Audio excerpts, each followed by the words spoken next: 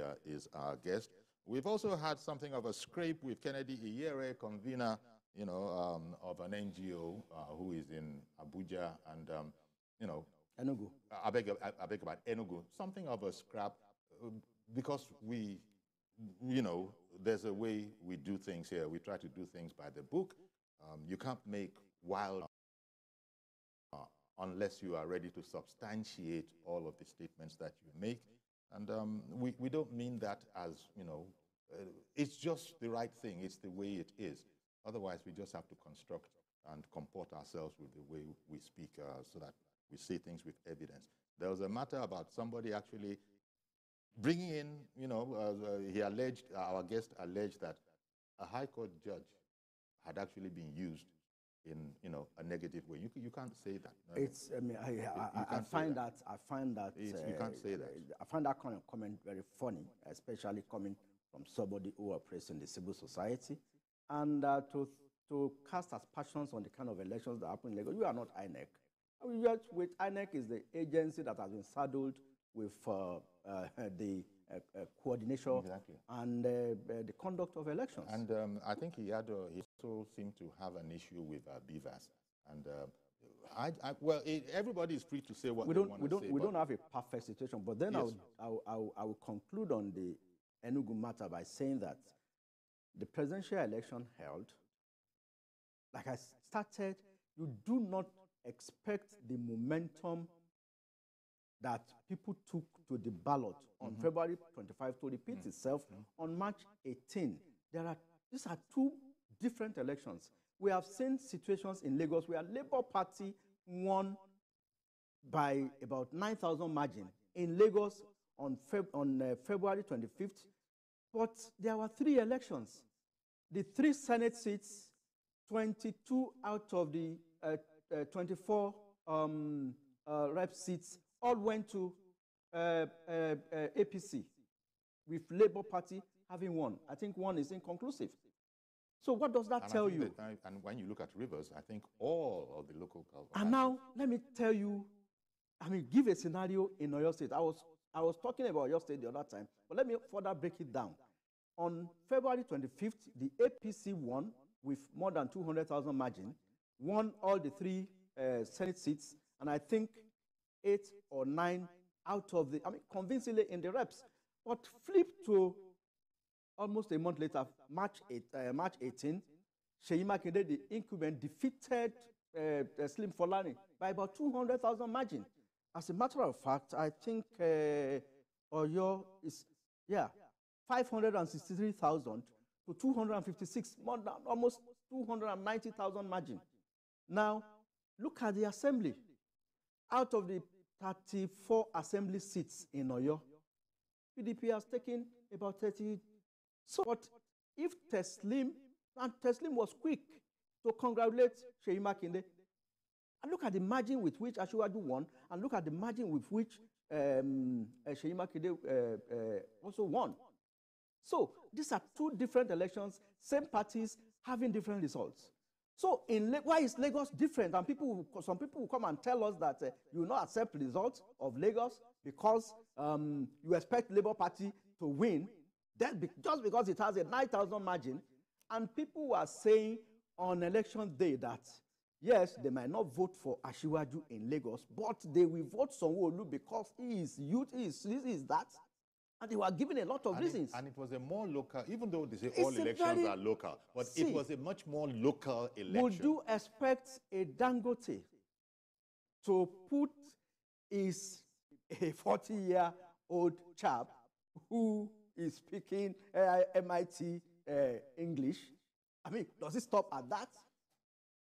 Now, he would rather secure that facility under a Sanwo-Olu who has assisted him, who has helped him to talk to the CBN governor, to talk to the federal government, to talk to other investors, who has given uh, him uh, a conducive environment. Yeah, and a man of vast experience. You long see, because if, if a new kid on the block comes into Lagos, I mean, Dangote won't know how to approach him. I, a, a Femi or that Tedola won't know how to approach him. A Rabiu, uh, a, a Rabiu Sabiu of um, uh, Bua will not know how to approach him. But then they're already used to a Sanwo-Olu. They're already used to, I mean, they know who to call if things want to go uh, uh, south. And when, and if truth be told, any of the governors of Lagos, Yes. even the past ones, Yeah. you know, they usually are people of, you know, significant of course. accomplishments. Look you know, at- sub, sub- significant connections before they come we- we- in fact, for his, people, people tell me that a Sanwo-Olu should not even go out and campaign. Now, what he has done is enough to campaign for him. But then I tell them, no, you guys are getting it wrong. I've been in politics enough to understand that it is not your achievement that ends you. People think of so many other things. And now, who are the people that vote more in Lagos? They are the downtrodden. And these are the people the Labour Party candidate and the PDP candidate want to send uh, packing. Yes. Yes. And you think they will allow you to do that? I'm saying they, they now define democracy as the, as the government by Agbero for Agbero and for, uh, by, by by Agbero by Agbero for Agbero. No, I I mean, those were emotionalism. So, uh, I can- think we can excuse. Some All sorts people of things happen in I, a I political I think people season. should sit uh, Rhodes-Vivour down and educate him that this is not the end of life. You have lost an election. There is, you can sustain the momentum. You still have a chance in 2027. If you are aggrieved, yes, compile your documents, go to court. Of course, it showed uh, something yesterday. Even if that polling unit is counted, we are talking of uh, um, 762,000 to 312,000. That is a clear 450,000 difference. If you know how one vote matters, then you know that it is difficult to erase 450,000 votes. And that is the truth of the matter. Yeah. Um, but And I, also, I should also say that the, some states have flipped. The ruling party, the ruling government, has lost some states. APC lost in Kano. APC lost in uh, Samfara. APC has lost in Plateau. Um, Benue, of course, Cross Rivers, quote and unquote, Ebonyi, significantly so, and Sokoto. And I saw Fayoshe doing a video to mock Tambua. Okay. On the loss of uh, we, we have a UK call. Ade in the UK has also called in. Good morning, Mr. Ade. Good, good morning, uh, Dr. Yori. Good morning, Daniel. Good morning, Uh, sir. I only want to comment. We have seen the result of election. First round is gone. But another one is coming. That will be selection, which means a lot of Bayelsa syndrome will happen. Remember Bayelsa? When the governor was about to be sworn in tomorrow, and they say, no, you are not the one. Expect a lot of Bayesa syndrome from presidency to governors. God bless you. Okay. Uh, well done, Mr. Ade. I knew, you know, we- take all kind of commentary. So when Mr. Ade came on, you know dispositions of people. That was not a surprising disposition uh, at all. Uh, thank you for it, nevertheless. You know, it just See, um, see, I, I, I love talking uh, in terms, in, in, in- figures. I did some statistics uh, in my uh, undergraduate level as a student of Ragric. We do a lot of statistics. Now, I want to take us to Ebonyi State and look at what happened on February 25 and what happened on March 18. In Ebonyi State, February 25 um, presidential election, APC got 42,000 votes, PDP 13,000, and Labour Party 259,000 votes. That's Ebonyi. Now, on Saturday, March 18, APC 199,000 votes, PDP got 80,000 to come second, and APGA came third with 52,189. Labour Party, under with a Peter Obi phenomenon and enthusiasm from 259,000 came down to less than 20,000 votes. That's Ebonyi. That's a southeastern state. exactly. So if that happened in Ebonyi, how would you expect for Labour Party to sustain that slim momentum in Lagos? Because I, we need to break these things down and let people see things. If you move to Delta, Delta is close by in the south south. In, 20, in on April 25, APC had 90,000 votes, PDP 161, Labour Party got 341,000 votes in Delta. On March 18, I mean, it flipped. Uh, Delta State, uh, the, the, gov the governorship candidate of the PDP, uh, it's, it's, the name is very long, Oborevwori, I will, I will stop at that, got 240,000 votes. Uh, sorry, got 360,000 votes. Omo-Agege, Deputy Senate uh, President, I mean, gave a very good fight, 240,000 votes, although he said he would challenge the result of the election. Abga got 11,000 more than Labour Party. And see, I want us to look I, I at you. this And scenario. by the way, that name, you know, you know that uh, the name uh, for Delta. Yes. Obo, Ob- it's a long one. I, I, I, You know, I try to abbreviate. O- above well, O- Oboweri. when when he pronounces it himself or anybody that speaks the language, it's a much simpler kind of a thing. Now, uh, sorry to keep you waiting, uh, Mr. Adekunle in Ore. Good morning. Good morning, Mr. Yori. Thank you for calling in. Yeah, good morning, Mr. Mujik. Good morning, sir. Yeah, please, there is uh, something I want to quickly, uh, quickly uh, chip in.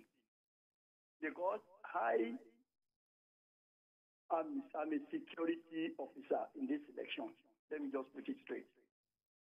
There is something that played out that I noticed, but because there is no security breach, there was nothing anybody can do. I think some of the aggrieved parties, uh, the aggrieved political parties, to also hold some of their agents, pulling agents responsible. And I'll tell you why. Played out in one of the polling units. I don't want to mention the state. People are coming out to vote. And they, the other agents are there, and they are telling them where to some print and they are going there to do their accreditation, and they will tell them where, where to thumbprint, and they are going there straight to thumbprint. You know what happened? After I had to engage one of the agents and said, Come, why did you allow this thing to happen? Because there is nothing we could do because there has not been any security breach. Since both there is no report and no, no violence and nothing is happening. But there is something I noticed that I can see that some people are being persuaded to vote in a particular uh, direction. He now said yes, that there are some political parties that paid the agents more than the other. And this is what I want the, the, some the political to know. He said there is a political party that is giving its own agent, and one is giving another political agent 30, 30,000.